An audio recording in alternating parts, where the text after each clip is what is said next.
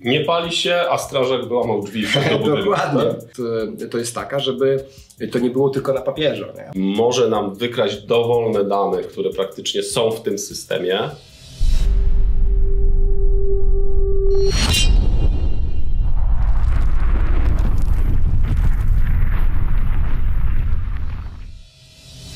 Cześć!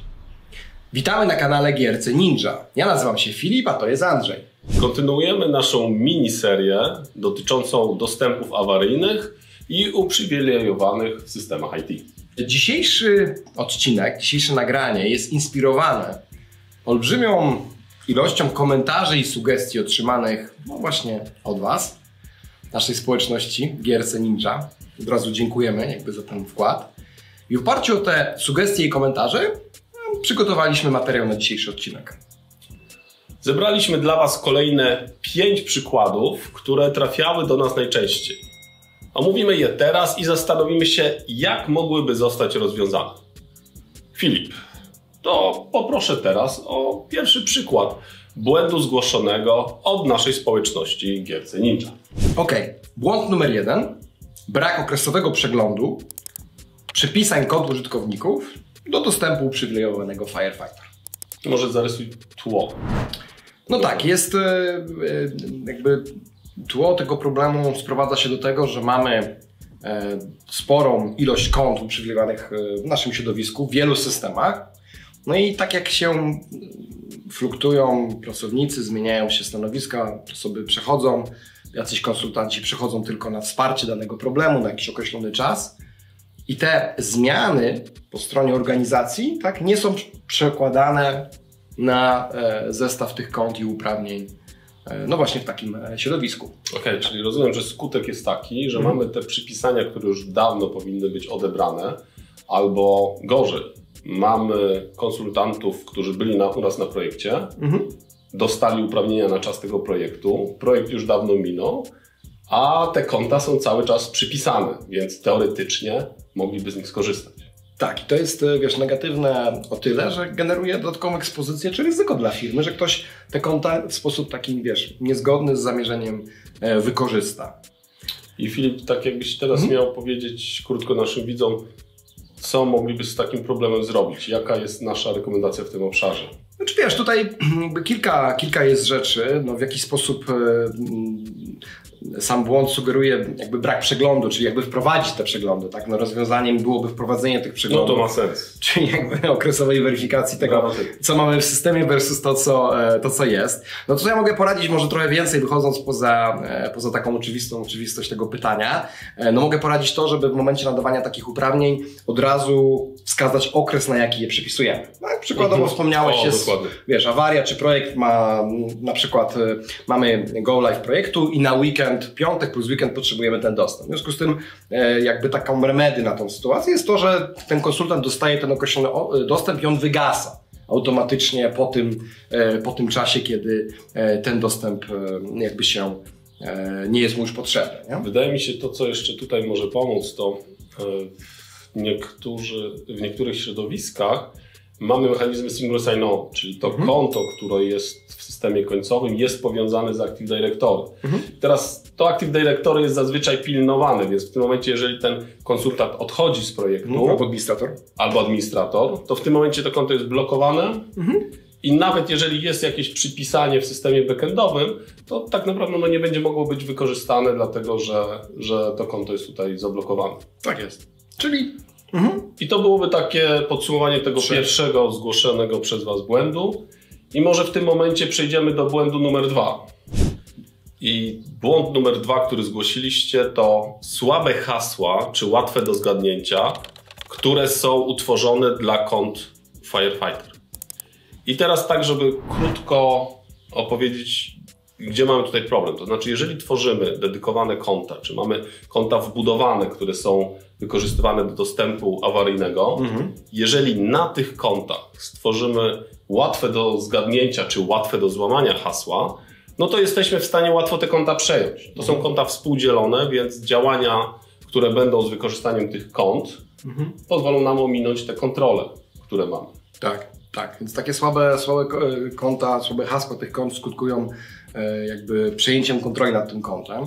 No, co my tutaj możemy no, znowu zrobić? Nie wiem, nie jest to bardzo odkrywcze, ale no właśnie stosować silne hasła, takie silne, które, których złamanie wymaga e, długiego okresu czasu, czyli kilkunasto kilkunastoznakowe ze stosowaniem znaków specjalnych, małych, dużych liter, cyfer, prawda? Żeby te konta były bardziej trudne do złamania, te hasła były bardziej trudne do złamania.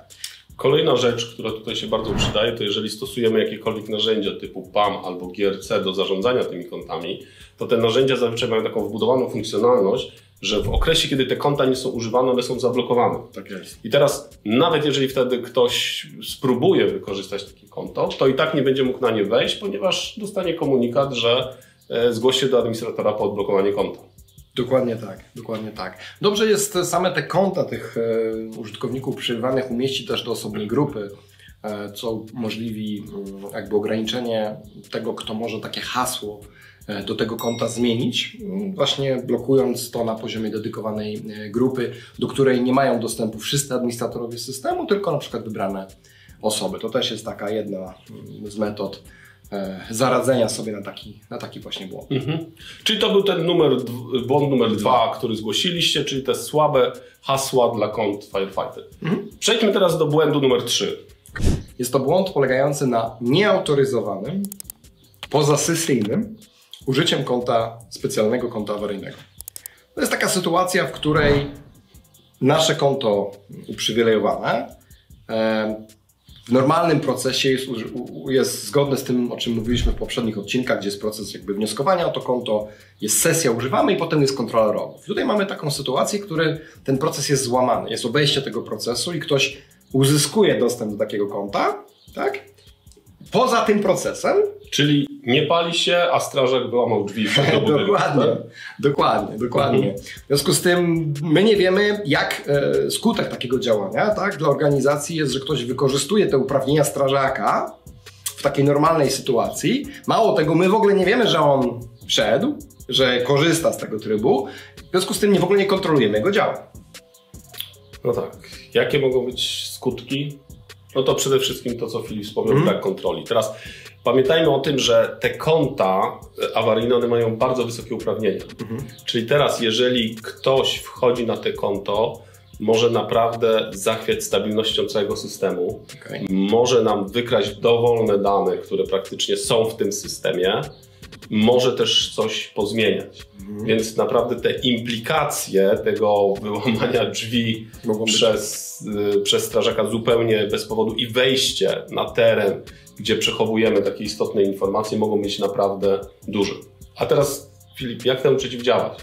No wiesz, tutaj przede wszystkim trzeba się zastanowić, jak monitorować takie przypadki. Tak? No to nie ma takiej opcji, że my nie wiemy, że, że wszedł strażak Dobra. do naszego e, sejfu i, i, i próbuje gasić pożaru, którego nie ma. Nie? Czyli remedy na tą sytuację, żeby poprawić sytuację, to my na początek musimy w ogóle wiedzieć, że taka sytuacja miała miejsce. I żeby wiedzieć, że taka sytuacja miała miejsce, to my musimy E, mieć możliwość e, poprzez wsparcie najczęściej narzędzia klasy wiesz, GRC Access Control albo PAMA, albo PAMA że, Access Manager. że ktoś poza sesją używa takiego konta. Tutaj narzędzia mają takie wbudowane raporty, gdzie taka sesja jest rejestrowana. No, łatwo to wyłapać, bo jakby system monitorując całą aktywność na koncie sprawdza, które części doby były objęte tymi sesjami, no i te poza sesjami łatwo wyłapać i sprawdzić, że tam nie było jakiejś aktywności. Jeżeli była, no to to jest informacja do eskalacji. Tak, i to, to mamy w tym momencie tak naprawdę incydent bezpieczeństwa.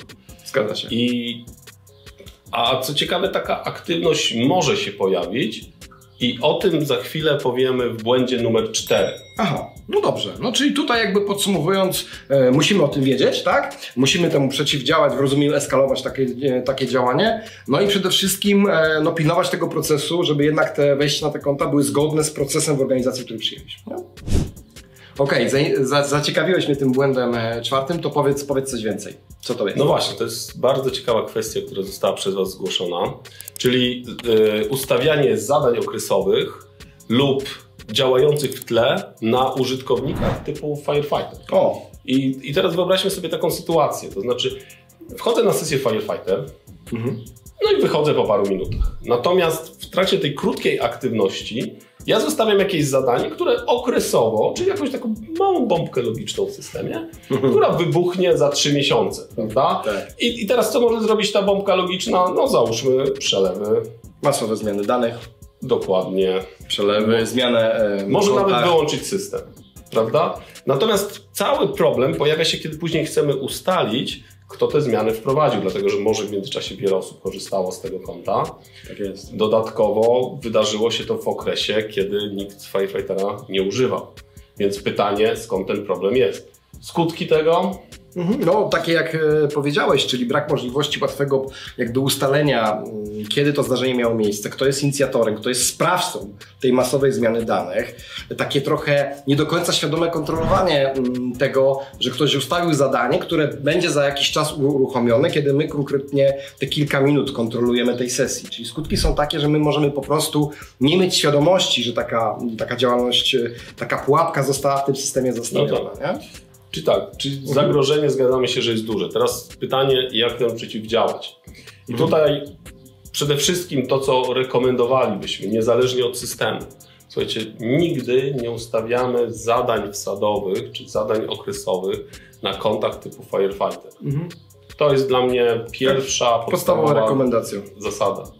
Mhm. Kolejna, kolejna sprawa to jest, wiesz, czyli umieszczenie tego w procedurze podczas szkolenia, przekazanie, że takich rzeczy nie robimy. Bo to często, słuchajcie, nawet nie wynika z faktu, że ktoś to specjalnie zrobił. No wtedy mamy problem. Ale często ludzie nawet nieświadomie e, takie joby ustawiają, prawda? Więc to szkolenie, czy procedura, czy informacja, tak jak mówisz do nich, że nie mogą tego robić, tak? To jest bardzo dobre. Ale to, co jeszcze bardziej pomaga, to to, że nawet e, możemy ograniczyć te uprawnienia tego firefightera, żeby on takie, mm, mhm. takich zadań nie mógł zrobić. Nawet jak będzie chciał, żeby nie mógł tego E, fizycznie Dokładnie. zrobić. Nie? Dokładnie. A ten element, o którym mówisz, edukacja, to jest, to jest bardzo, bardzo ciekawy temat, dlatego że to nawiązuje do piątego błędu, okay. który został zgłoszony przez użytkowników, a też bardzo częstego tak naprawdę w środowiskach, czyli brak szkoleń z zakresu procesu i standardów stosowania dostępu awaryjnego. No, jakie są takie skutki tego błędu? No przede wszystkim każdy administrator troszkę według swojej praktyki działa w tym systemie, tak? Czyli niektórzy koncentrują się na zadaniach wybitnie krytycznych i faktycznie używają ten proces zgodnie z jego ideą do sytuacji wyjątkowej, a niektórzy ponieważ nie było szkoleń, robią to po swojemu i na przykład całość działań na tym koncie od rana do wieczora realizują w takim trybie, prawda? Dokładnie. Słuchajcie, a popatrzmy teraz jeszcze na perspektywę konsultantów. Dlatego, że konsultanci pracują na różnych projektach i u różnych klientów. Teraz te standardy dokumentacyjne mhm. mogą być różne. Czyli u jednego klienta są takie wymagania, u tak. drugiego są inne. I teraz przecinając to z tym oczekiwaniem, które jest, że zazwyczaj klient, y, konsultant wchodzi na projekt i 5 minut później zaczyna pracę w systemie, powoduje to, że tak naprawdę, no okej, okay, on robi co może, tak jak, tak jak go dotychczas uczono, ale być może na przykład nasze standardy są wyższe, albo mamy większe oczekiwania co do tego dostępu awaryjnego. Więc tutaj zastanówmy się teraz, jak temu przeciwdziałać. Tak. Dokładnie. To tutaj przede wszystkim no, powinna być ta procedura, powinno być to szkolenie. To jest jakby numer jeden, tak? Czyli jakby powinniśmy mieć, pamiętać o tym, że są te różne standardy, o których mówisz i trzeba je uspójnić do takich praktyk, na jakich nam zależy. Jakby pierwsza rzecz, która tutaj jest e, w tym wszystkim ważna. Druga, równie, e, równie ważna, to jest, e, to jest taka, żeby to nie było tylko na papierze. Nie? Czyli chcesz dostęp Firefighter, to pokaż mi, że byłeś e, przeszkolony, tak? Czyli egzekwować e, na etapie nadawania takiego dostępu, nie wiem, checkbox, czy to w systemie, czy w Ale to, ma, to możemy bardzo ciekawie zautomatyzować, to co mm. mówisz, dlatego że rozwiązania takie jak e, IDM, czyli Identity Management albo Access Control, one tak naprawdę przy nadawaniu jakiejś roli, tak, mhm. takie jak roli firefighter czy jakiegoś dostępu, są w stanie wymusić, że nie mogę dostać tej roli do czasu ukończenia szkolenia. I teraz jeżeli to szkolenie kończy się jakimś nazwijmy to prostym quizem. Albo certyfikatem. Albo certyfikatem szkolenia, no to w tym momencie wymuszamy, że jeżeli ktoś chce dostać ten dostęp, chce u nas pracować w dostępie awaryjnym, musi to szkolenie ukończyć. Mhm. I wtedy jesteśmy, wydaje mi się, w miarę bezpieczni. No tak, przede wszystkim to, że sobie zapiszemy w naszej procedurze, że muszą być szkolenia, nie przestaje być fikcją, bo my to faktycznie jesteśmy operacyjnie w stanie egzekwować. Także tu wydaje mi się, że to remedy, remedy jest na ten, na ten błąd, na ten problem e, jest fajny. Natomiast dziękuję za zgłoszenie tego błędu, dlatego że to jest też coś, z czym bardzo często spotykamy się, dlatego że no wiadomo, no, realizujemy też mnóstwo projektów i, i na tych projektach spotykamy się z, też z różnymi standardami, między innymi dostępu awaryjnego. Słuchajcie, mhm. to wszystko, co przygotowaliśmy tak. na dzisiaj. Dziękujemy za zgłaszanie Waszych uwag, komentarzy. I było ich naprawdę też e, sporo. Było z czego wybierać. Myślę, że nawet wiesz, Andrzej, jeżeli udałoby się zgromadzić znowu kolejną porcję pytań, e, błędów, które w waszych środowiskach obserwujecie, no to bardzo chętnie nagramy jeszcze jeden odcinek z kolejnymi e, błędami w tym obszarze. E, natomiast dzisiaj to wszystko, co przygotowaliśmy dla was. Zapraszamy do śledzenia naszego kanału Gierce Ninja i do usłyszenia. Dziękujemy. Cześć.